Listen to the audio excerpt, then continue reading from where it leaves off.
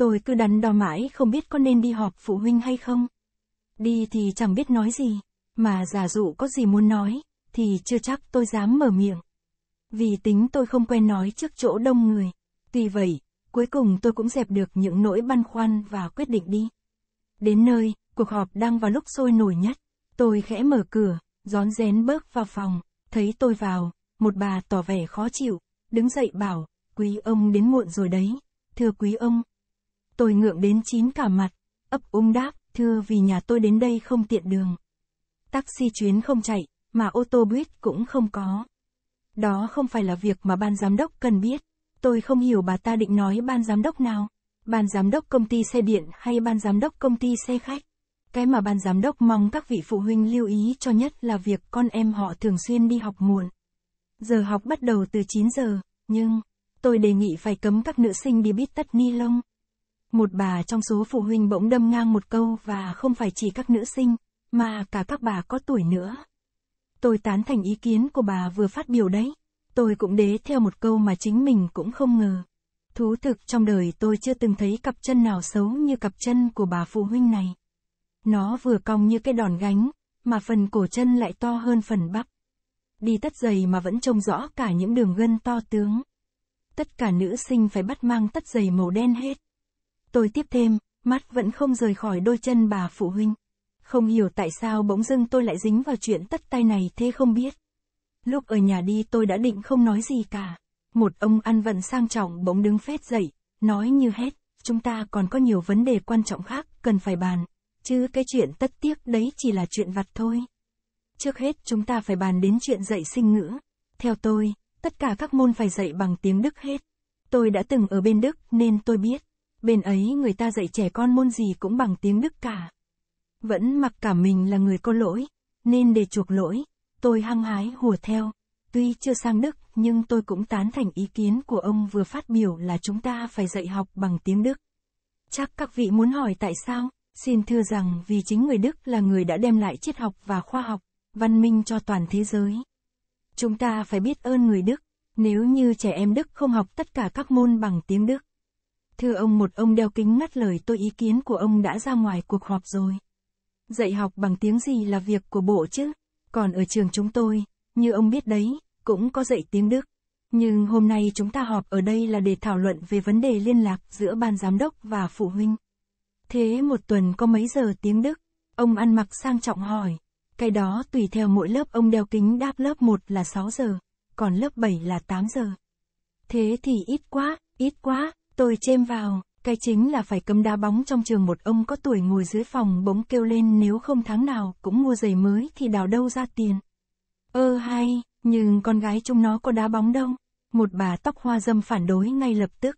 Nhưng tụi con trai nó đá. Ông có tuổi vận bướng. Tại sao lại dính đến chuyện con trai ở đây? Trường này là trường nữ sinh cơ mà. Trường nữ sinh à, thế ra đưa cháu gái tôi học ở đây ư. Thế mà tôi cứ ngỡ là, muốn trường gì thì trường, cứ là phải cấm đá bóng. Trẻ con bây giờ quên hết cả truyền thống của cha ông. Cái đáng lo nhất là con em chúng ta hay bỏ học một bà giáo lên tiếng các vị phụ huynh phải đặc biệt quan tâm đến chuyện này mới được. Ông ngồi cạnh tôi hỏi, không biết bao giờ mới bắt đầu xã hội nhỉ? Không biết tôi đáp ông hỏi ông hiệu trưởng xem. Hiệu trưởng là ông nào?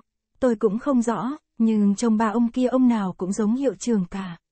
Ông ngồi cạnh tôi bèn quay sang một ông có dáng điệu rất bệ vệ ngồi sau dãy bàn của ông giám đốc. Thưa ông hiệu trưởng, bao giờ thì bắt đầu ra hội ạ? À? Ông hiệu trưởng đâu nhỉ? Ông này đưa mắt nhìn quanh hỏi. Ông hiệu trưởng ốm, không có ở đây bà đeo kính trả lời. Thế bao giờ mới bắt đầu dạ hội ạ? À? Ông ngồi cạnh tôi lại hỏi. Làm gì có dạ hội nào mà dạ hội? Bà đeo kính ngạc nhiên. Ông bên cạnh tôi ngượng quá ngồi xuống. Đoạn quay sang bảo tôi, hừm, về nhà tôi cho con danh con một trận mới được. Nó láo quá đi mất. Tôi không hiểu ông định nói gì. Tôi đáp, cái con mất dậy nó bảo hôm nay ở trường nó có dạ hội và cứ nằng nặc đòi tôi đi dự. Nó còn bảo là chúng nó sẽ múa điệu khác Madanu nữa. Vợ tôi đang có mang không đi được, nên tôi phải đi thay. Trong khi đó, cái bà đòi các nữ sinh phải mang bít tất giày màu đen cứ ra sức tuyên truyền để lôi kéo thêm đồn minh cho mình. Cái ông đòi phải dạy các môn bằng tiếng Đức thì cứ bô bô kể chuyện đời sống bên Đức. Một ông còn trẻ ngồi bên trái tôi quay sang hỏi, xin lỗi, ông có biết người ta nói gì không ạ? Tôi chả hiểu gì hết.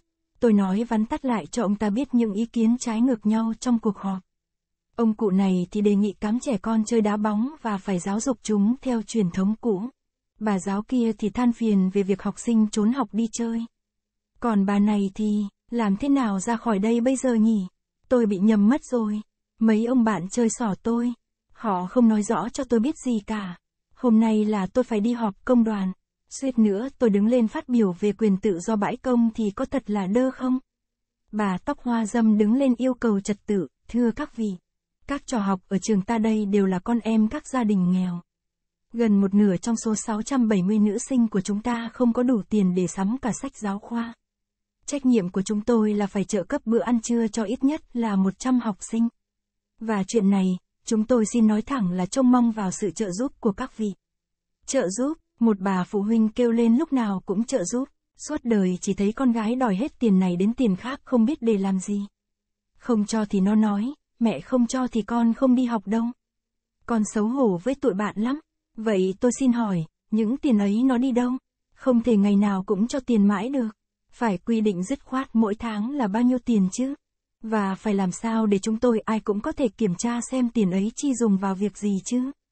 Đúng đấy, tôi gào lên.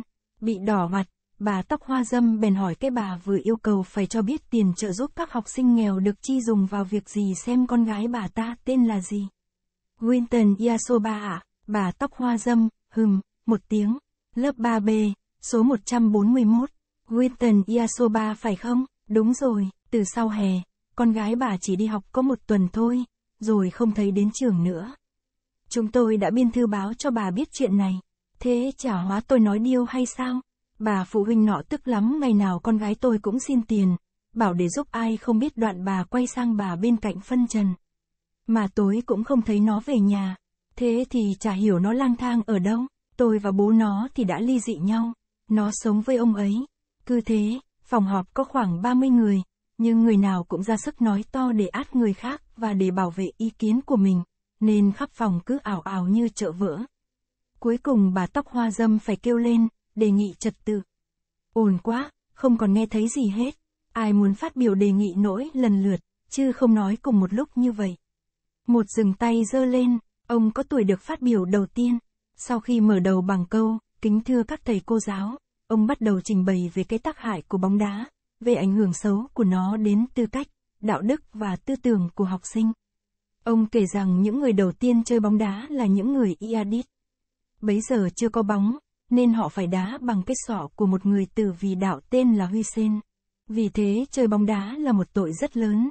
Nghe ông kể lể con cả con kê mãi, mọi người sốt ruột không chịu được nữa, phải đồng thanh kêu lên, thôi đi. Cho chúng tôi còn nói với chứ, ông phát biểu thứ hai đề nghị mọi người hãy xới thêm một suất cơm vào cặp lồng của con em mình để tương trợ các em khác, chúng ta làm như thế để ủng hộ các em con nhà nghèo, ông ta nói. Đoạn quay sang than phiền về chuyện giá sinh hoạt đắt đỏ, chuyện không có bơ tốt để bán, chuyện than củi khan hiếm. Bài diễn văn của ông tưởng chừng không bao giờ chấm dứt. Bị kéo ngồi xuống ghế rồi mà ông còn tiếp tục lẩm bẩm một mình. Biết rằng có theo thứ tự thì chẳng đời nào đến lượt, nên bất chấp cả trật tự, tôi đứng phát dậy nói luôn, thưa các ông các bà. Tôi bắt đầu, nhưng thực ra vẫn chưa biết nói gì. Tôi bèn kể luôn một câu chuyện tiếu lâm về khốt viên Nasreddin để lôi kéo sự chú ý của mọi người đã. Nhưng không may, đến đúng đoạn hay nhất, thì tôi quên bén đi mất. Thế là tôi đành phải nói chữa thẹn, câu chuyện kết thúc thế nào thì chắc các vị đã biết cả rồi. Lúc này mà ngừng nói, dù chỉ một tích tắc thôi, là người khác sẽ cướp lời ngay. Vì thế, chả cần logic quái gì cả, tôi nói luôn sang chuyện khác. Nếu con cây chúng ta bị đúc, thì lỗi hoàn toàn là ở các bậc cha mẹ hết. Tôi nói thế cốt để lấy lòng ban giám hiệu, vì tôi cũng sợ con gái tôi bị đúc. Các bậc phụ huynh bây giờ không chịu quan tâm gì đến con cái của mình cả tôi tiếp tục ba hoa có những ông bố thậm chí không biết con mình học trường nào lớp nào nữa. Tôi bắt đầu hăng máu, không còn ai ngăn được nữa. Các giáo viên vỗ tay hoan hô tôi nhiệt liệt, cuối cùng, bà tóc hoa dâm phải bảo, bây giờ khi đã muộn, nên ý kiến của ông xin để đến cuộc họp sau vậy. Nhưng tôi đã nói được gì đâu, lúc ra về, tôi được các giáo viên tiễn ra tận cổng và cảm ơn dối rít. Nhưng vừa về đến nhà, thì lại bị vợ đột ngay cho một câu, anh đi đâu suốt từ tối đến giờ? Tôi nhìn đồng hồ, Kim đã chỉ 10 giờ. Đi họp phụ huynh chứ đi đâu? Tôi đáp anh đã phát biểu rất hăng và ý kiến của anh được các giáo viên rất thích. Anh nói là các phụ huynh không chịu quan tâm gì đến con cái cả, cứ mặc cho chúng chơi bời lêu lồng, đến lúc bị đúp thì bao nhiêu tội lại đổ cả lên đầu giáo viên. Bỗng con gái tôi chạy như bay vào phòng, bố ạ. Các thầy giáo con lại hỏi tại sao bố không đi họp đấy. Vợ tôi lập tức tra khảo ngay, à, thế ra những điều anh vừa nói là dối trá hết. Anh chui giúp ở đâu đến tận nửa đêm mới về mà bảo là đi họp hờ. Bố vừa họp ở chỗ con về mà, nhưng con cũng vừa ở đấy, thì bố cũng vừa họp ở trường nữ sinh của con mà. Sao bố lại đến trường nữ sinh? Con có học ở trường nữ sinh đâu. Con học ở lớp cuối trường Bayatit cơ mà. Thế nào, vợ tôi sừng sốt tao gửi mày đến học ở trường nữ sinh khô khô ra kia mà. Nhưng con bị đuổi khỏi đấy từ lâu rồi mẹ ạ. À? Trời ơi, con mất dạy tôi điên tiết sấn và đứa con gái tại sao mày không nói cho bố mẹ biết mày học ở đâu, học hành ra sao hờ. Còn cái nhà mất dạy đến thế là cùng. Chân thành cảm ơn mọi người đã dành thời gian lắng nghe chuyện đọc trên kênh YouTube của chúng tôi. Sự quan tâm và phản hồi tích cực từ các bạn là động lực lớn. Hy vọng qua câu chuyện, chúng tôi đã mang lại những phút giây thư giãn và suy nghĩ sâu sắc. Mọi ý kiến đóng góp giúp chúng tôi ngày càng hoàn thiện. Hãy tiếp tục ủng hộ chúng tôi bằng cách đăng ký kênh, chia sẻ và để lại những bình luận ý kiến của bạn. Chúng tôi sẽ tiếp tục mang đến những câu chuyện thú vị và ý nghĩa hơn nữa.